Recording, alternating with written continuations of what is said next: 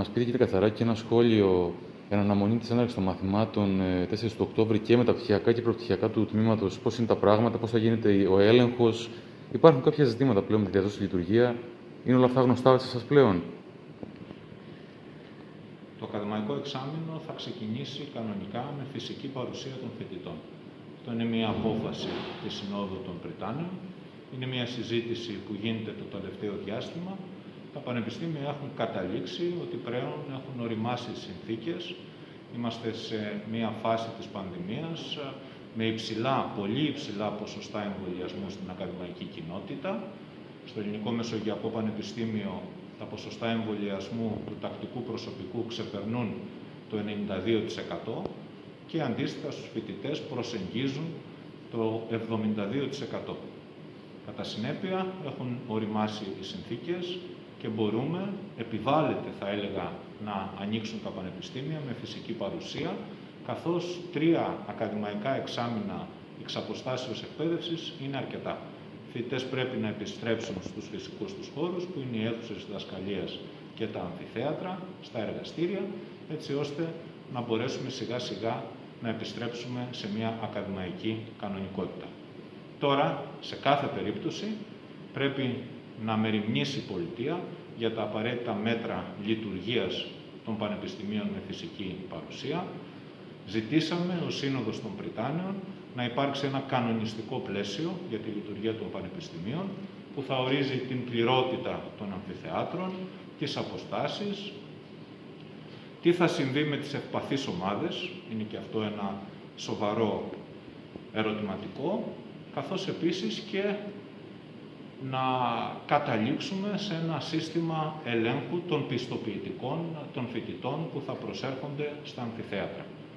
Συζητάμε εδώ και αρκετό καιρό για το EduPass, για ένα ψηφιακό πιστοποιητικό, για μια πλατφόρμα, όπου θα μπορούμε με εύκολο τρόπο να ελέγχουμε ως ακαδημαϊκά τμήματα τα πιστοποιητικά των φοιτητών μας.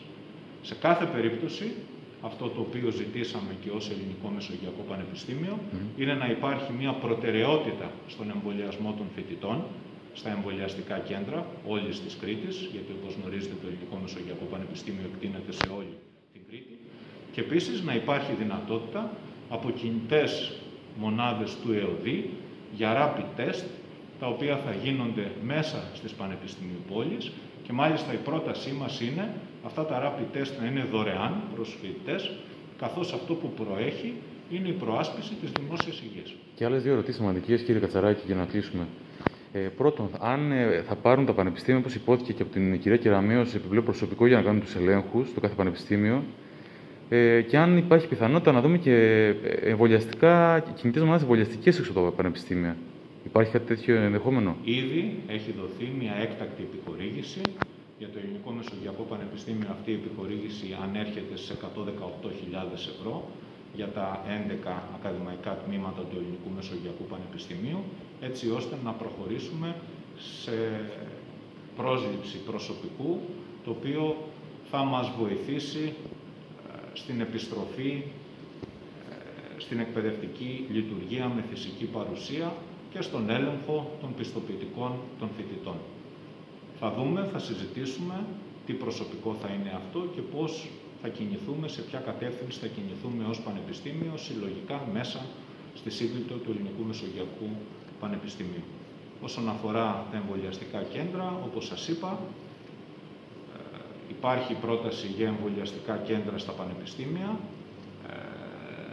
Ε, εκεί όμως που πληρούνται κάποιες προϋποθέσεις όσον αφορά το προσωπικό, νοσηλευτικό προσωπικό, ιατρικό προσωπικό, σε κάθε περίπτωση ε, είμαστε ε, στη διάθεση του Υπουργείου Παιδείας και Θρησκευμάτων, είμαστε σε επικοινωνία για να δούμε το θέμα των εμβολιαστικών κέντρων.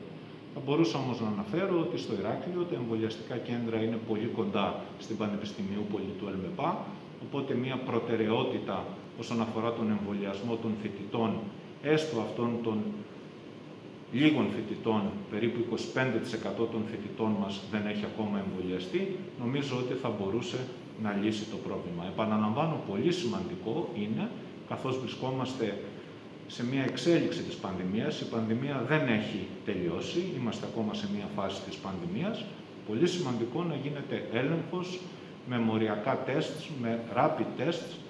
Σίγουρα τα rapid tests είναι μια απλούστερη διαδικασία και αυτό που ζητάμε είναι κινητές μονάδες του ΕΟΔΗ, έτσι ώστε να έχουμε ένα δειγματοληπτικό έλεγχο μέσα στις πανεπιστημιοπόλεις του ΕΛΜΕΠΑ.